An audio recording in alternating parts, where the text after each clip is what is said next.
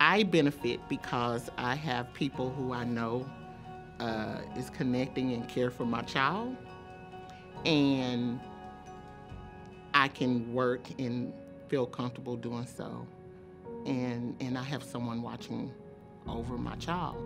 He's benefiting because he's continuing to get his education. He's, his day is extended.